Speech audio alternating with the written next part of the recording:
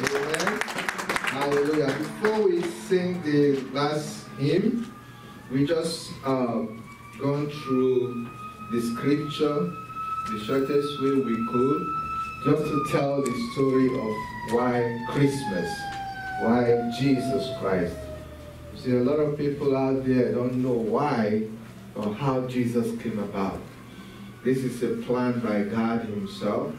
We saw man created by God. In the beginning, the scripture told us that God looked and everything He created was very good.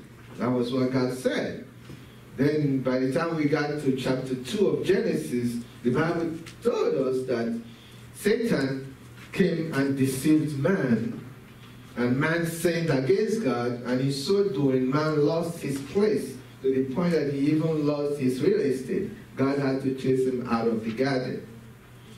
But God did not leave him without a Savior. Praise the Lord. Hallelujah. The Bible tells us that then the Lord, God said to, He said He will bring enmity between, in Genesis chapter 3, He will bring enmity between Satan, the deceiver, serpent called serpent, and man, and the woman. Said the seed of the woman, the seed of the woman will crush the head of Satan. Praise the Lord. Hallelujah. But it will not be done without Satan bruising his heel.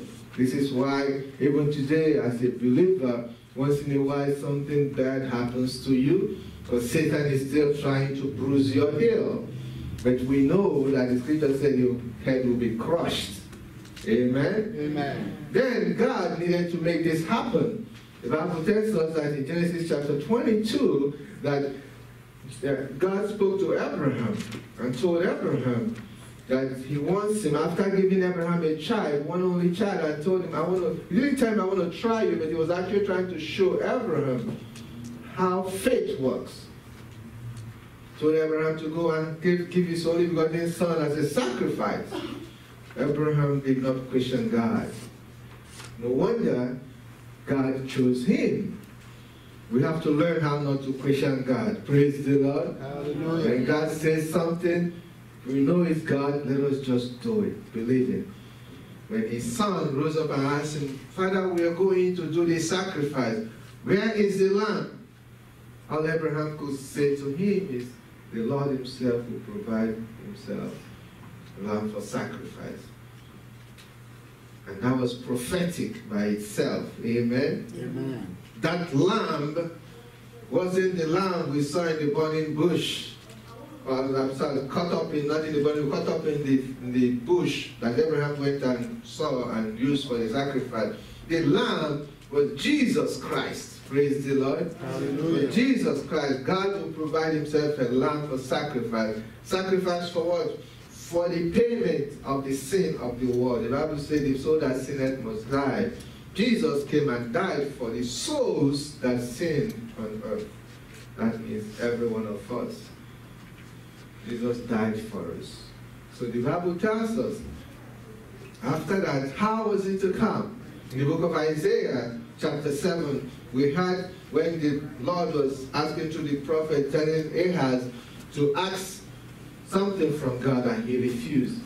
God still spoke, say that the virgin shall conceive. Amen. Amen. And that child will be a king of kings and lord of lords. He said that his kingdom, there will be no end to his kingdom. Praise the Lord. Hallelujah. And as we go, we continue to go, we come to Micah. Micah tells us that this child will not just come into the earth from anywhere. It was only, only come from one particular place. A place that nobody really knows in Israel. A very simple, unassuming small town called Bethlehem. There are greater cities and greater towns, but he will come from Bethlehem.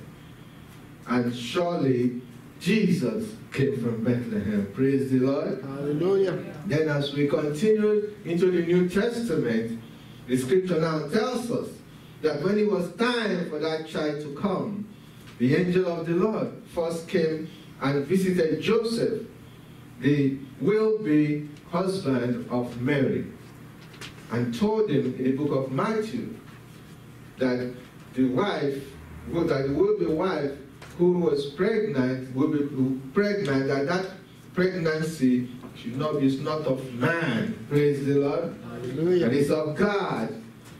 And God knew to use Joseph because Joseph, we don't give him enough credit. Joseph was a very mild-mannered man who feared God. The Bible said, knowing that that was what God wanted, he did not put away his wife to be, rather, he embraced her full-heartedly. And he knew her not until she had her baby. And also the Bible tells us in the book of Luke that the angel also visited Mary, Luke chapter 1, and told Mary about the coming pregnancy. And Mary was also another young virgin, God-fearing young lady who after receiving this dream, a vision in the dream, he, she did not question God too much. She, she was just curious. How can this be when I'm not, I'm not yet, I have not known any man or gotten married yet? And the angel told her, the Holy Spirit will come upon her. And God will do what God said he would do. Her response was, let it be unto me that which you, God, has said. We need to learn from Mary also how to say to God, let it be unto me that which you have said. Let me do that which you have said. I will go when you say go. I will come when you say come. Then the Bible also reminds us, normally the earthly princes and kings are born in palaces, great homes, great cities. But this Son of God will be born in the lowest possible place. Even after they went to the city, the Bible said they had no place for them in the inn. I'm believing part of the reason because they didn't have enough money to pay for the inn. Whenever there's a great occasion in a city, most of the hotels are booked. The prices go high. The poor can't afford it. Joseph and Mary could not afford the inn. They had to give birth to the Lord in a manger, in a good shed. Good shed is not a clean place Praise the Lord. Hallelujah. It's not a rich place. It's the lowest possible place. It's always dirty. It's always um, some type of physics and water and all kinds of mud around. But that was where he was born. Very lowly. And yet, Bible said when he was growing, he didn't complain. He learned obedience. He suffered like you and I can suffer. He was tempted like you and I will be tempted, and yet he did not fail God, saying to us, we can be like Jesus. If we truly want to, if we truly hear his voice in our hearts, we will not fail God. We will trust in the name of the Lord. The Bible says when he was born, the shepherds, not kings, not queens, but shepherds in the, in the, in the fields were told about the birth of Jesus. The Bible said, good news to the world, joy to the world, the King has come. Today, let us celebrate that good news with joy in our hearts. As this is playing, let us sing along with it to the glory of our God. Let us rise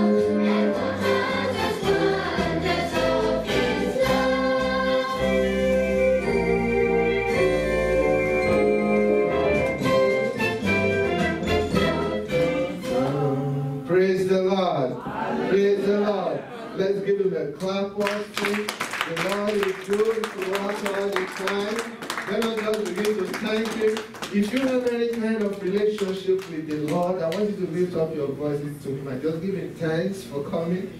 Him thanks for coming to save us, for coming to deliver us from sin, for coming to open up the blessings of God to us today. This is why Jesus came. The Bible says, the soul that sinneth must die. But God has given us salvation through Jesus Christ. He has given us grace, unmerited favor. He said, Whosoever believes in the name of Jesus Christ shall be saved. That is what the Word of God says today. We celebrate Christmas to us who believe. Christmas is not just about giving presents. We thank God that we are able to receive presents. But Christmas is beyond that to us. It is the evidence of God's promise to us. Christmas is the evidence of God's hand, hand outreach to us. Christmas is the evidence of God's blessing to us. Christmas reminds us that our life does not just end here. We live, we are eternal human, we are eternal beings. We live even after we have done with here. The Bible tells us that heaven is waiting for us. God is looking to bless us even more. While we are here on this earth, the Lord said, In my name, whatsoever you ask of the Lord, you shall have. This is possible because he has accomplished what he came to do. He is from God, as we have heard from the scriptures. He is the Savior of the world. He has the power to bless. He has the power to heal. He has the power to change a situation that is hopeless to hopeful today. I say to you today, if you really trust in the Lord Jesus, if you really trust in the Lord Jesus, He will never fail you. He will never fail you. He did not fail Himself. He did not fail the Father that sent Him. Adam failed the God, God that sent him. Jesus did not fail him. Jesus will not fail you. Today, as we celebrate Christmas, let us give him thanks. Just give him thanks. Just say, Thank you, Lord Jesus. I thank you for coming for the world. I thank you that I know that you did not come to condemn the world, but you came to bless the world. You did not come to hate, you came to love. You did not come to take from us, you came to give to us. Today we celebrate your presence on earth. As the whole world celebrates, we will never forget what you have come to do. You are our Savior. You are our deliverer. You are our healer. You are our righteousness. We give you all glory. We give you all honor.